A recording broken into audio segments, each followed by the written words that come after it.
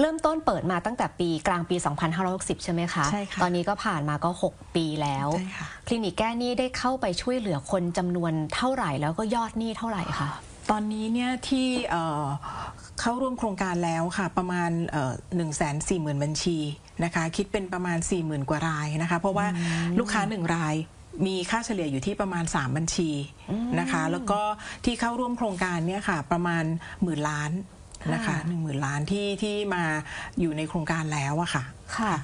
จากสถานการณ์โควิด เป็นต้นมาสถานการณ์ของคนที่เป็นหนี้ใน 3 รูปแบบเนี้ยหนี้บัตรบัตรกดเงินสด หรือสินเชื่อส่วนบุคคลเนี่ยมันมากขึ้นหรือน่ากังวลยังไงบ้างคะ ก็ถ้าดูจากที่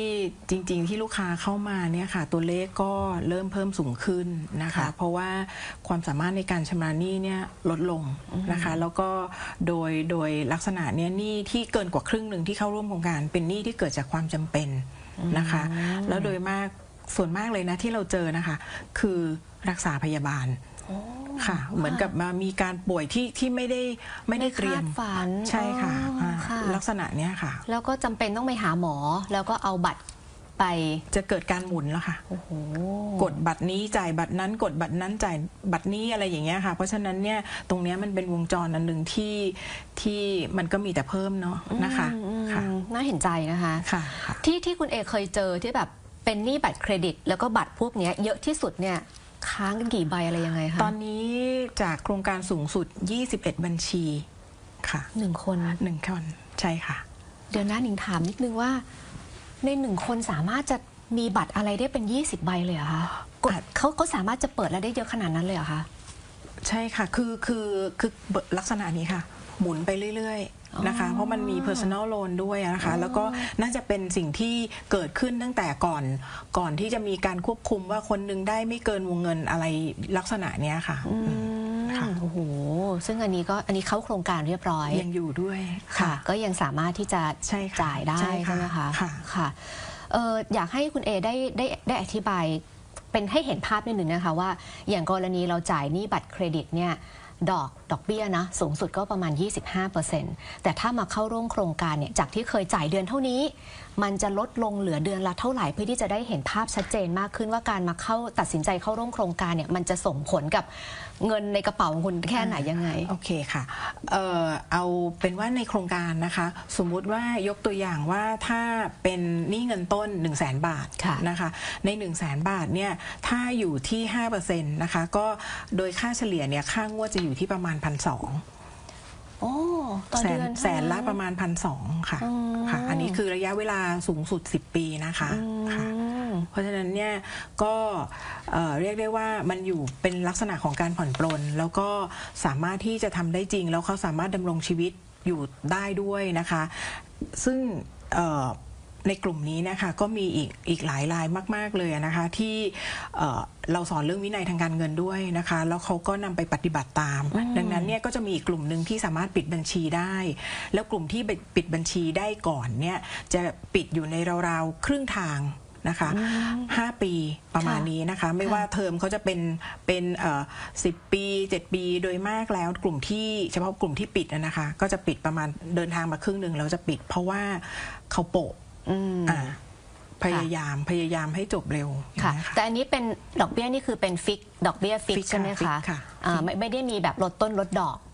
เอ่อก็ในในเวลาที่ชำระเนี่ยเราก็จะไปตัดต้นตัดดอกอยู่แล้วอะค่ะอ่า ค่ะ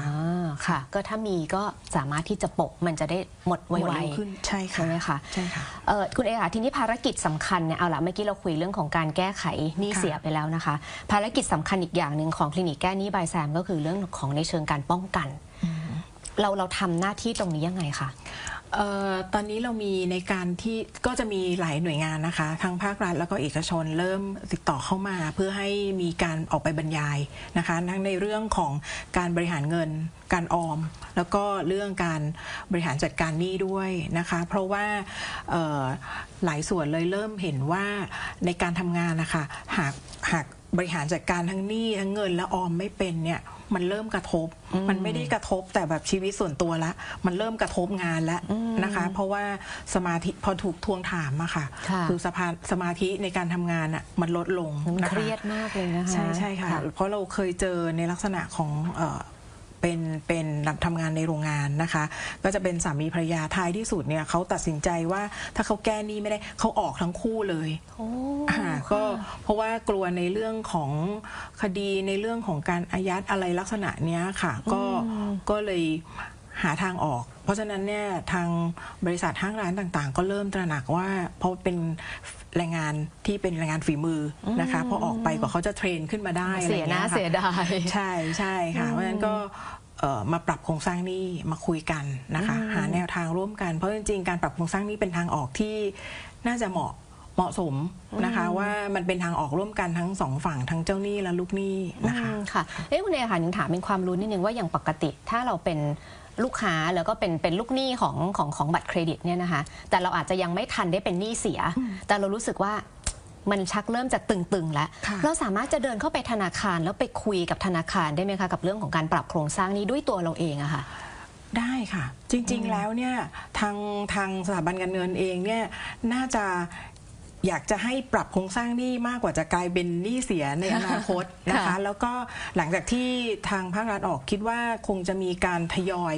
นะคะ น่าจะมีการทยอยออกเออแนวทางหรือมาตรการต่างๆ มาเพื่อเพื่อดูแลกลุ่มนี้ เพราะว่าไม่อยากต้องพยุงไม่ให้กลายเป็นหนี้เสียอะค่ะอืมค่ะเอ่อในฐานะที่ก็ทำทั้งเรื่องของการแก้ปัญหาหนี้เสียให้กับ ให้กับผู้ที่มาเข้าร่วมโครงการด้วย แล้วก็ทำในเชิงของการป้องกันให้ความรู้ด้วย อยากให้ใช้พื้นที่ตรงนี้ในการที่จะสื่อสารกับประชาชนว่า จะมีวิธีการในการบริหารจัดการการเงินยังไงบ้าง เพราะว่านี่น่าจะเป็นปัญหาสำคัญของคนไทยเหมือนกันนะคะว่า เราอาจจะขาดความรู้ วิธีการในการบริหารจัดการการเงินส่วนบุคคลจึงทำให้สัดส่วนหนี้ของคนไทยเนี่ยถือว่าสูงมาก ๆ เลยทีเดียวอะค่ะ ใช่ค่ะเอ่อถ้าถ้าในส่วนที่อยากจะฝากอะนะคะก็คือเวลาที่เรามีรายได้ เราต้องใช้ในสิ่งที่จำเป็นก่อนนะคะ แล้วก็สัดส่วนของหนี้เนี่ยไม่ควรจะเกิน 30-40 นี่เต็มที่แล้ว นะคะ แล้วก็บางส่วนต้องเก็บไว้ออมด้วยนะคะ เพราะฉะนั้นพอได้เงินปั๊บเนี่ยค่ะ แต่ก่อนสัดส่วนมันจะกลายเป็นว่าใช้ก่อนออมที่หลังนะคะ อยากจะแนะนำว่าเราออมก่อนมากน้อยไม่ใช่ประเด็นค่ะนะคะค่ะแต่มันคือการสร้างวินัยนะคะออมได้มากได้น้อยออมก่อน แล้วค่อยไปใช้ แล้วส่วนที่เหลือเนี่ยสัดส่วนของหนี้เนี่ยขอให้ประคองให้อยู่ในหลักประมาณ 30 ไม่เกิน 40นะคะ เพราะไม่งั้นเนี่ยจะลำบากแต่ในการกินอยู่เราก็ต้องใช้นะคะ ไม่งั้นชีวิตมันมัน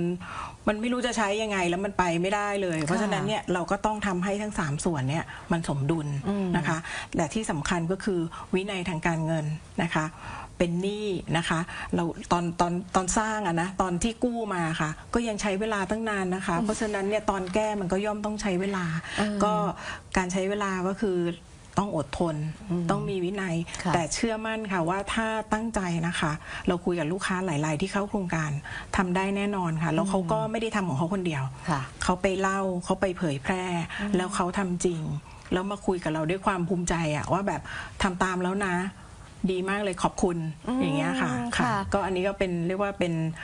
เอ่อความสำเร็จส่วนหนึ่งที่ที่ทำให้มันอาจจะสร้างได้ทีละเล็กน้อยนะคะ มันใช้เวลาค่ะ ค่ะ แต่ถ้ามีความตั้งใจนะคะ ได้แน่นอนแน่นอนค่ะปลดหนี้ได้แน่นอนแน่นอนค่ะค่ะ แต่ถ้าค่ะตอนนี้ใครกำลังเป็นหนี้อยู่แล้วก็ไม่รู้ว่าจะหันไปพึ่งใคร โดยเฉพาะหนี้3ชนิดที่ว่าย้ำอีกครั้งนะคะหนี้บัตรเครดิต บัตรกดเงินสด และสินเชื่อส่วนบุคคลที่ไม่มีหลักทรัพย์ค้ำประกันใช่ค่ะสามชนิดนี้นะคะ ใครกำลังเจอปัญหาอยู่ติดต่อได้เลยคลินิกแก้หนี้ by SAM ย้ำช่องทางอีกครั้งหนึ่งค่ะ จะสามารถดูรายละเอียดได้ที่ไหน พูดคุยสอบถามหรือจะไปสมัครได้ที่ไหนยังไงคะ ค่ะเอ่อช่องทางของคลินิกแก้หนี้นะคะ ก็จะเป็นเอ่อ เว็บไซต์นะคะ สามารถเข้าไปเอ่อตรวจสอบคุณสมบัตินะคะ แล้วก็สมัครทางเว็บไซต์ได้เลยนะคะ ทาง Line OA ทาง Line OA นะคะ Dead Clinic by Sam นะคะ สามารถเอ่อเข้าไปดูเงื่อนไขต่างๆ ได้นะคะ แต่ถ้าไม่สะดวกสามารถโทรติดต่อ 1443 นะคะ เป็นสายด่วนแก้หนี้นะคะ แล้วถ้ายังไม่สะดวกอีกสามารถอยากจะเข้าไปพูดคุยนะคะ ก็สามารถเข้าไปได้ที่โครงการนะคะที่ The Avenue รัชโยธินนะคะ ชั้น 4 นะคะ เปิดทุกวันนะคะ ตั้งแต่ 9 โมงถึง 1 ทุ่มนะคะ ส่วนเอ่อในพื้นที่ที่เป็นต่างจังหวัดนะคะ เรามี 4 สาขานะคะ เปิดจันทร์ถึงศุกร์นะคะ เชียงใหม่ขขอนแก่น พิษณุโลกแล้วก็สุราษฎร์ธานีค่ะอืมสามารถเข้าไปสอบถามเงื่อนไขได้ค่ะค่ะเอ๊ะคุณเอคะอย่างต่างจังหวัดที่อาจจะไม่ได้อยู่ใน 4 สาขาที่ว่าเนี่ยเขาสามารถจะส่งเอกสารหลักฐานคุยกันทางออนไลน์อย่างนี้ได้ไหมคะ ได้เลยค่ะอ่าได้ค่ะ ทางเว็บไซต์นี่สมัครได้แล้วก็สามารถแนบเอกสารมาด้วยเลยได้เลยค่ะ แล้วเราจะมีทางทีมที่ดึงข้อมูลนะคะ แล้วก็เอามาพิจารณาค่ะ ค่ะ ใครอยากรู้ข้อมูลเพิ่มเติมแบบละเอียดละเอียดเนี่ยลองโทรไปก็ได้นะคะ จดได้ค่ะเบอร์นี้สายด่วน เรียกว่าสายด่วนชนะหนี่ชนะนี่ค่ะ ชื่อดีมากเลยค่ะ สายด่วนชนะหนี่เราต้องชนะหนี่ไปด้วยกันนะคะ1443ใช่ค่ะนะคะค่ะวันนี้ขอบพระคุณเป็นอย่างสูงค่ะ คุณสุวัฒนารัศมีโรธวงศ์นะคะ ผู้บริหารฝ่ายคลินิกแก้หนี้ป่ายแสมขอบพระคุณนะคะคุณเอค่ะขอบคุณค่ะค่ะ